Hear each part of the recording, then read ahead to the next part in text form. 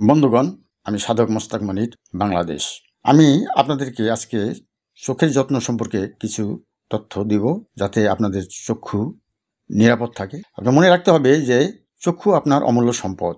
এই চক্ষুর যত্ন নিন এবং এই চক্ষুকে নিরাপদ রাখুন। এবং এই চক্ষুকে নিরাপদ রাখতে হলে প্রথমে যে কাজটি করতে হবে আর তা হলো যে আপনি কড়া রৌদ্রের মধ্যে সানগ্লাস ব্যবহার করবেন।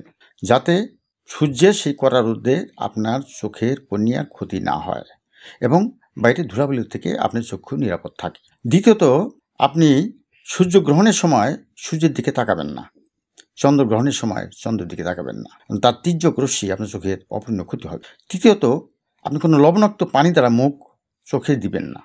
কোনো লবণাক্ত পানি আপনার চোখে দিবেন না। তাদের ওই লবণাক্ত পানির ভিতরে অ্যাসিড রয়েছে যা আপনার চোখের যথেষ্ট ক্ষতি হতে পারে। চতুর্থত, আপনি এমন কোনো কাজ করবেন না গর্হিত যা আপনার নিজের চোখের ক্ষতি হয়।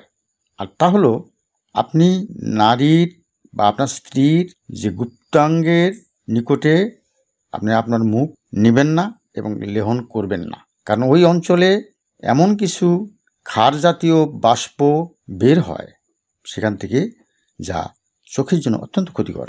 তো কাজেই আপনারা এগুলো থেকে নিজেদেরকে নিরাপদ রাখবেন।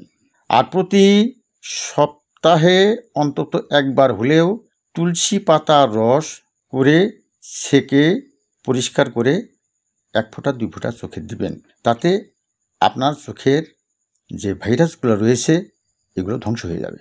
এইভাবে আপনার চোখের যত্ন নিতে হবে এবং আপনি মাঝে মাঝে ঠান্ডা পানি চোখে দিতে পারেন বা আপনি চোখকে আপনি পানি দিয়ে ধুয়ে ফেলতে পারেন এবং নরম গামছা দিয়ে বা তোয়ালি দিয়ে মুখটা মুছে নেবে যাতে চোখের উপর প্রেশার না পড়ে। এই সমস্ত নিয়মগুলো যদি আপনি পালন করেন, তাহলে আমি আপনাদেরকে অন্তত এইটুকু প্রতিশ্রুতি দিতে পারি যে আপনি চোখ ভালো থাকবে এবং আজীবন আপনার চোখকে নিরাপদ পাবেন এবং চোখ আপনার অমূল্য সম্পদ এবং এই চোখের আপনাকে অবশ্যই যত্ন নিতে হবে। আর আপনি বিশেষজ্ঞ, চক্ষু ডাক্তার ছাড়া, তার পরামর্শ ছাড়া আপনি কোনো বাজারের কোনো ড্রপ ব্যবহার করবেন না, চোখের ড্রপ ব্যবহার করবেন না। আপনি চোখে, চক্ষু ডাক্তার, বিশেষজ্ঞ চক্ষু ডাক্তারের পরামর্শ অনুযায়ী আপনি চোখের ড্রপ ব্যবহার করতে পারেন, অন্যথায় নয়।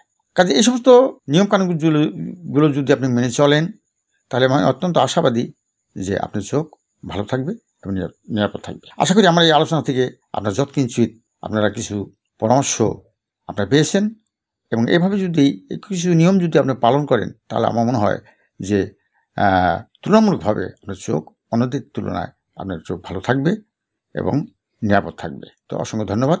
আমি আলোচনা এখানেই পরিসমাপ্তি জানছি।